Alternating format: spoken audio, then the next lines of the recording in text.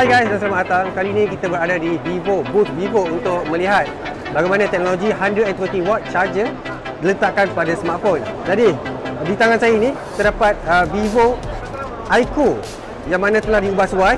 Jika anda lihat di sini, di bahagian belakangnya agak sedikit tebal berbanding uh, panel pertama yang saya buatkan uh, sebelum ini dan ini adalah kerana ianya menyokong uh, charger 120 watt. Jadi untuk itu kita akan tunjukkan kepada anda bagaimana ianya berfungsi dan bagaimana bagaimana pantasnya supercharger 120 watt ni. Jadi yang pertama sekali hanya terdapat satu kabel sahaja iaitu USB Type C dan anda perlu sambungkan di sini. Dan anda boleh lihat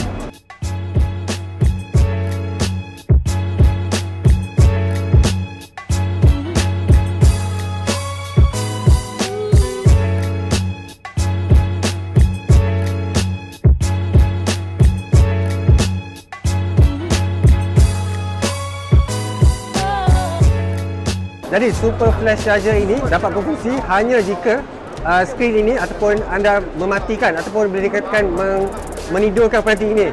Tetapi jika anda gunakannya, ia akan kembali kepada charger biasa dan membuatkannya anda akan mengecas dengan lebih perlahan lah. Kemudian untuk membolehkan perkara ini berlaku, Vivo telah mengubah sesuai dari segi uh, bateri di bahagian belakang dengan memisahkannya seperti ada seperti apa yang ada pada uh, OnePlus 7 iaitu walk charge. Jadi itu saja dahulu pandangan pertama terhadap Vivo Super Flash Charge ini. Macam biasa guys, tinggalkan like dan subscribe. Kita berjumpa lagi di video seterusnya.